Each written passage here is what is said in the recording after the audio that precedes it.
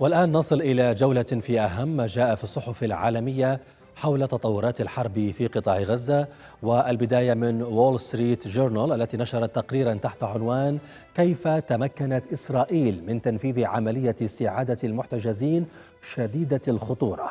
وذكرت الصحيفة أن قوات كوماندوز إسرائيلية شنت عملية مفاجئة لاستعادة أربعة محتجزين من حركة حماس في انصيرات بقطاع غزة موضحة أن هذا التكتيك كان محفوفا بالمخاطر لكنه كان يهدف إلى رفع معنويات إسرائيل في الحرب التي تحولت إلى مستنقع وجعلت إسرائيل تعيش عزلة دولية بشكل متزايد.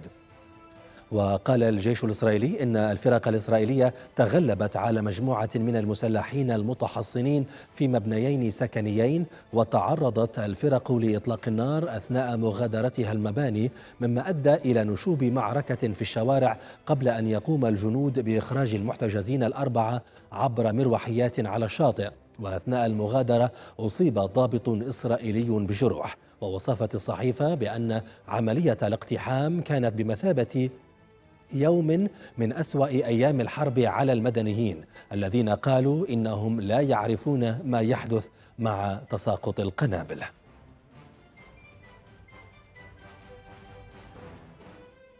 نشرت صحيفة واشنطن بوست تقريرا تحت عنوان المخابرات الأمريكية ساعدت في استعادة المحتجزين الإسرائيليين. وبحسب الصحيفة قدمت الولايات المتحدة بعض المعلومات الاستخباراتية التي ساعدت في استعادة أربعة محتجزين إسرائيليين. وقال أشخاص مطلعين على الأمر إن فريقا أمريكيا متمركزا في إسرائيل قدم المعلومات على الرغم من أنها تبدو ثانوية بالنسبة للمعلومات الاستخباراتية التي جمعها الإسرائيليون قبل العملية.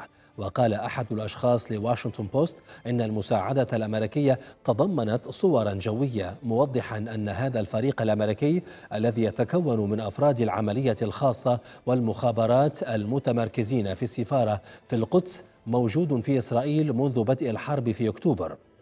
ومنذ ذلك الحين تبادل الفريق المعلومات مع نظرائهم الإسرائيليين حول المواقع المحتملة للمحتجزين. تم جمعها من مراقبة الطائرات من دون طيار الأمريكية فوق غزة واعتراض الاتصالات ومصادر أخرى وفقا للأشخاص المطلعين على الأمر.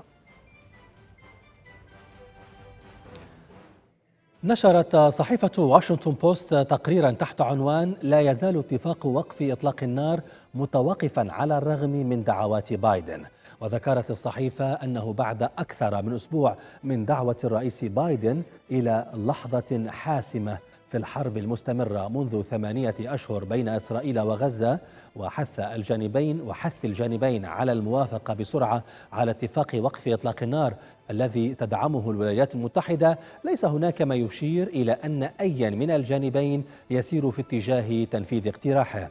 وعلى الرغم من مناشدات بايدن الشخصية والعلنية وإرسال كبار مسؤولي الإدارة إلى المنطقة واستحداث قرار جديد من مجلس الأمن التابع للأمم المتحدة وحشد الحلفاء للحصول على الدعم لم تقترب إسرائيل ولا حماس من الاتفاق على الخطة المقترحة لإنهاء الحرب في غزة بشكل دائم. وقالت الصحيفة إنه رغم الترحيب باستعادة إسرائيل الناجح لأربعة محتجزين إلا أنه قد يزيد من تعقيد جهود الإدارة ويعزز إصرار رئيس الوزراء بنيامين نتنياهو على تحقيق نصر عسكري كامل وإطلاق سراح جميع المحتجزين المتبقين لدى حماس قبل إسكات أسلحة إسرائيل.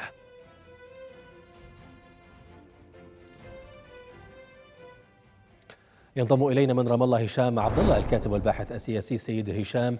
أهلا بك معنا في هذه الفقرة الصحفية. دعنا نبدأ بالتعليق على أول عنوان آآ آآ ذكرناه من وول ستريت جورنال كيف تمكنت إسرائيل من تنفيذ عملية استعادة المحتجزين الأربعة شديدة الخطورة؟ نعم تحياتي لك أستاذ نبيل وأهلا بك وجميع المشاهدين الأكارم. الصحيح أنه يعني صحيفة مثل الوول ستريت جورنال تسأل هذا السؤال وأكثر من ذلك فإنها متفاجئة بتنفيذ هذه العملية.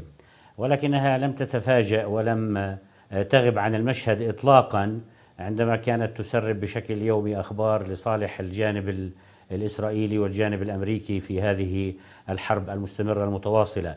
وأنا أقول آه، ذلك لأني يريد أن أطرح من خلالكم أيضا سؤالا ردا على السؤال على الصحيفة نفسها. لماذا لم تقل لنا صحيفة وول ستريت جورنال ومعها أيضا آه، صحيفة واشنطن بوست ومختلف الصحف الأجنبية والأمريكية وحتى العربية من خلفها أو ورائها أو على جنبها لم لم لم يشر أحد من هذه الصحف ولا رؤساء التحرير ولا الصحفيين لسؤال مهم جدا آه، متعلق بهذه العملية وهو كان يجب أن يوجه للإدارة الأمريكية وعلى رأسها الرئيس الأمريكي آه، بايدن الذي تمت هذه العملية نعم. وهو آه، ينادي ويدعو إلى إقناع كما يقول كما قال إلى إقناع إسرائيل بقبول وقف إطلاق النار ما هو السؤال وكذلك إلى جميع الدول الأجنبية. ما هو هذا نعم. السؤال؟ السؤال هو لماذا لا تقول لنا هذه الصحافة لماذا لم تسأل هذه الصحافة آه، الرئيس الأمريكي آه، بايدن؟ كيف تمت هذه آه، العملية؟ وهي لم تكن لتتم دون علم الولايات المتحدة الأمريكية وكما يقول لنا الصحافة الآن والإعلام بمشاركة خلية أمريكية رابضة. طبعا هناك جميع يعني قوات أمريكية موجودة في المنطقة وشاركت في هذه العملية. لماذا؟ لماذا لم تسأل؟ يجب السؤال أنا ما أريد أن أقوله. السؤال يجب أن يوجه إلى الإدارة الأمريكية قبل أي أي طرف آخر. السؤال يجب أن يوجه إلى الرئيس الأمريكي الذي كان يعمل بكل جهده ومعه آه، الدول آه، الغربية والدول العربية نعم. ودول العالم التي رحبت بهذه الاتفاقية. هذا هو السؤال الذي يجب أن تطرحه السؤال الصحافة المهنية الصحافة وهو أمر في الحقيقة سيد هشام كشفت عنه. الحقيقة سيد هشام هذا السؤال ربما أجابت عنه. صحيفة الواشنطن بوست. هذا هو مقالها. المخابرات الأمريكية ساعدت في استعادة المحتجزين الإسرائيليين وقالت بأن هذه الخرية التي أشرت إليها سيد هشام هي موجودة في إسرائيل منذ أول الحرب وتساعد إسرائيل على ما يبدو بتقديم المعلومات والاستشارات وما شابه. لكن في اعتقادك هل كانت إسرائيل لتنفذ العملية وتستعيد المحتجزين الأربعة أحياء آه، لوحدها من دون مساعدة أمريكية؟ هل كانت تستطيع فعل ذلك لوحدها؟ لا لا طبعا أستاذ نبيل وهذا ما أرمي إليه وأقوله بالضبط إنه الاسئله يجب أن توجه إلى الإدارة الأمريكية، الشكوك توجه إلى الإدارة الأمريكية، الطعن يجب أن يوجه إلى مصداقية الولايات المتحدة الأمريكية التي تقول للعالم أنها تريد أن تصل إلى وقف لإطلاق النار ووقف الحرب، وهي في نفس الوقت في نفس الوقت الذي كان يتحدث فيه الرئيس الأمريكي إلى العالم كانت أجهزته ومؤسساته تعمل مع الجانب الإسرائيلي على تنفيذ خطة تنفيذ تنفيذ خطة إطلاق سراح آه، الرهائن الإسرائيليين وكانت تعرف حجم القوة التي استخدمت وهي يعني طبعا لا أحد يقول أنه دهش بكيفية آه، قتل الفلسطينيين بهذه الطريقة إن كان العدد 100 أو 200 أو 300 لم يعد ذلك يهم أحد. ليس فقط الولايات المتحدة الأمريكية وليس فقط إسرائيل ولكن كل الدول. وهذا ما أريد أن أقوله وأوجهه للصحافة كصحفي وكزميل في هذا هذه المهنة على هذه الصحف والواشنطن بوست والول ستريت جورنال أن كانت يجب أن تطلع العالم أن توجه هذه الأسئلة القوية والقاسية الأسئلة الصحفية المهنية كانت يجب أن توجهها إلى إلى سوليفان ووزير, ووزير الدفاع الأمريكي وعلى رأسهم بايدن. كيف كنت تعمل على إقناع العالم وإقناع للضغط على على حركة حماس وعلى الفلسطينيين بقبول وقف إطلاق النار وتقول إن نعم. هذا هذه مبادرة إسرائيلية وفي نفس الوقت أنت تعمل إلى جانب إسرائيل في الميدان لتنفيذ هذه الخطة التي ذهب آه، ضحيتها آه، أكثر من 250 فلسطيني عدا عن مئات آه، الإصابات. هذا هذا ما أريد اللافت سيد هشام بأنه ليس فقط هذه الصحف الأمريكية أو حتى الإسرائيلية لا تذكر الضحايا الفلسطينيين من سقطوا شهداء جراء هذه العملية ليس فهذا فقط وإنما لا يذكرون أيضا عدد المحتجزين الإسرائيليين الذين قتلوا بنيران إسرائيلية خلال تنفيذ العملية إسرائيل تتحدث فقط عن استعادة أربعة لكن أيضا يبدو بأن هناك محتجزين قتلوا آه، خلال العملية هل يتم ذكر ذلك؟ لا لا طبعا لن لن يتم ذكر ذلك لأنه لأنه أصلا يعني إسرائيل ومعها أعتقد الولايات المتحدة الأمريكية وأذهب إلى القول أنهم تجاوزوا أصلا مسألة الرهائن وإنما يتم استخدام مسألة الرهائن الإسرائيليين المحتجزين لدى المقاومة الفلسطينية كأسلوب وكأداة لمد عمر هذه الحرب وبشكل اساسي لإخفاء المقاصد الأساسية. لو قارنا بين الخسائر التي أوقعتها المقاومة الفلسطينية بالجنود الإسرائيليين وبالجيش الإسرائيلي ليتجاوز آه، ذلك آه، قيمة وثمنا. إن أردنا ذلك من وجهة نظر إسرائيلية وأمريكية عملية ومسألة الأسرى المختطفين والمحتجزين لدى المقاومة الإسرائيلية آه، المقاومة الفلسطينية. ولكن ما يجري هو أن الولايات المتحدة الأمريكية ومعها الجيش الإسرائيلي وإسرائيل بكل مكوناتها وليس يعني نتنياهو وحده وسموتريش وحده بل كل مكونات مكونات المجتمع الإسرائيلي آه، السياسي والمدني وما إلى ذلك والعسكري والأمني كلهم يستخدمون ذلك لإطالة أمد هذه الحرب وعلنا يعني أن وعلى العالم أن يعني ينتبه إلى ذلك بعد مضي آه، ثمانية أشهر ونحن الآن آه، دخلنا الشهر التاسع من هذه الحرب التي أودت نعم. بحياة حوالي أربعين طيب. ألف فلسطيني غير الجثث التي لا نعرف مكانها نعم على العالم أن يعي ذلك وبالتحديد كل من يتماهى مع آه، الموقف الأمريكي الذي هو الموقف الأساسي في آه، استمرار وفي مواصلة حرب الإبادة هذه المتواصلة على الفلسطينيين. أرجو أن تبقى معنا سيد هشام نستكمل جولتنا ومن ثم نعود إليك في تعليق أخير. هذه المرة نشرت صحيفة نيويورك تايمز تقريرا تحت عنوان وزارة الصحة حذرت من أن آخر المستشفيات العاملة في غزة قد تخرج عن الخدمة قريبا. وبحسب الصحيفة حذرت وزارة الصحة في غزة من أن المستشفيات القليلة التي لا تزال تعمل في قطاع غزة قد تصبح خارج الخدمة تماما إذا لم يتم استبدال أو صيانة مولدات الديزل اللازمة لإبقاء الأضواء مضاءة وتشغيل المعدات الطبية المنقذة للحياة قريبا. وقالت الوزارة إنها تتوقع تعطل عدد من المولدات في المستشفيات قريبا لأن إسرائيل كجزء من حصارها للقطاع تمنع دخول قطع الغيار اللازمة. وقالت الوزارة في بيان هذا يعني الموت المؤكد للمرضى والجرحى والنهاية الكاملة للخدمة الصحية.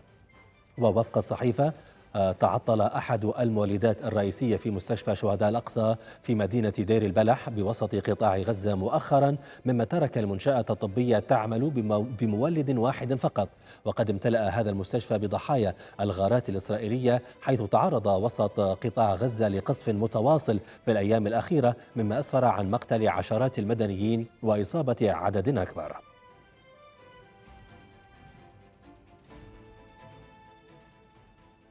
نعود إلى ضيفي من رام الله هشام عبد الله الكاتب والباحث السياسي سيد هشام الأوضاع الإنسانية والطبية آه، في تدهور آه، شديد آه، رغم أن الجميع بما فيها الولايات المتحدة شيدت ذاك الرصيف العائم وهناك مناشدات لإدخال كافة المساعدات اللازمة للقطاع وبالذات للقطاع الصحي. ومع ذلك هذا هو مستشفى شهداء الأقصى المستشفى الكبير الوحيد الذي ما يزال صامد رغم كل إمكانياته المتهالكة وهو يعمل بمولد واحد مثل ما قالت إدارة المستشفى. كيف يمكن تدارك هذه الأوضاع؟ ما الطريقة الصحيحة بدلا من إطلاق التصريحات والمناشدات الهلامية يعني طبعا إذا استمر الأمر كما هو عليه وإذا استمرت الرؤية الأمريكية الإسرائيلية آه، للفلسطينيين على أنهم مجموعة طارئة على هذه الأرض وبالتالي يمكن التعامل معهم بأي طريقة ممكنة كما يحدث في هذه الحرب المستمرة آه، في غزة وكذلك بشكل أقل في الضفة الغربية. فإننا سنبقى ما سنبقى أمام نفس المشهد. وللمناسبه يعني هذا المشهد وهذا الحديث الذي يتردد ويتكرر مرة أخرى عن وقف المستشفيات وتوقفها عن العمل وتوقف الوقود. هذه ليست المرة الأولى ولكن أستاذ دبيل أنت تدرك والجميع من يعملون في السياسة وفي الصحافة وفي الإعلام يدركون أن ذاكرة الناس قصيرة جدا. ويكفي أن تردد لهم القصة أكثر من مرة حتى يعتقدوا أن هناك اهتمام. السياسة بالذات السياسة الأمريكية والسياسة الإسرائيلية ومعها الغربية وبشكل كبير تماهي عربي وإسلامي مع ذلك يعرف ذلك تماما ويدرك ذلك تماما. نحن مررنا بهذه المرحلة مرحلة المستشفيات والقصف وقصف المدارس وتعطل العمل في المستشفيات يعني عشرات المرات منذ بداية هذه الحرب. كل ذلك يعني أمر نعم. واحد أساسي طيب. أن الولايات المتحدة الأمريكية ومعها إسرائيل لا تقيم أي شأن لحياة وكرامة الفلسطيني والعربي بشكل أساسي فبالتالي نعم. يمكن التعامل في هذا الأمر إلى ما لا نهاية أعرف بأنك مستاء بخصوص الأوضاع كلنا كذلك في الحقيقة لكن عندما تقول بأن هناك تماهي عربي ألا تعتقد بأن هذا فيه إشحاف نوعا ما لا يا سيدي لا أنا أقول ذلك آه، بكل أريحية ولا ولا أعبر عن ذلك عن استياء. أنا لست في مقام يعني لأعبر فيه عن استيائي الشخصي. أنا مطلوب مني أن آه، كصحافي وكمهني هذه أمانة وأن أقول الحقيقة كما هي عليه ولا أوارب آه، في قول الحقيقة. وإن كان ذلك أولا يعني أقول ذلك عن الفلسطينيين وعن السلطة الفلسطينية وأعتقد وهناك يا سيدي قصور كبير على الجانب الفلسطيني بدءا من الفلسطيني الفصائل والحركات ومنظمة التحرير الفلسطينية والسلطة الفلسطينية والمجتمعات. صحيح أن الفلسطينيين هم الذين يتعرضون لهذا القتل والذبح المباشر بصورة أكبر في قطاع غزة وفي الضفة الغربية ولكن هناك خواء آه، سياسي آه، فلسطيني إزاء ما يحدث. فبالتالي أنا لا لا لا لا, لا بالمرة لا لا أعبر عن استياء ولكن ولكن أدعي أنني أعبر عن الحقيقة التي يجب أن نتلمسها جميعا. شكرا جزيلا لك من رام الله هشام عبد الله الكاتب والباحث السياسي